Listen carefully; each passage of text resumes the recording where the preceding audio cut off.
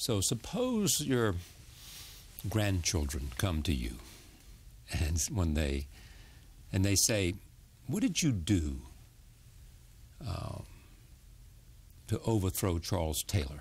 What will you tell them?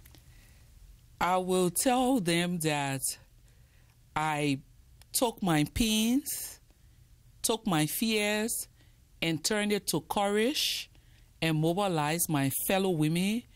And we did what we were supposed to do. We protested. Yeah. We were in the streets picketing. We spoke truth to power.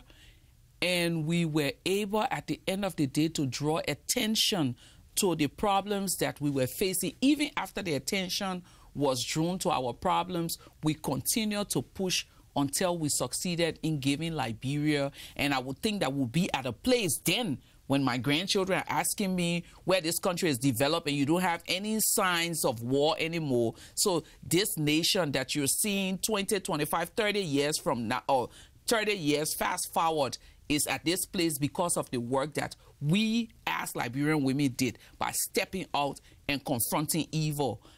I will be telling them that story because I also want to bring them to a place where their fears, their pains, their anger can be translated hmm. into something positive to bring change to their communities. It is an interesting phenomenon being able to uh, be able to rise beyond your fear.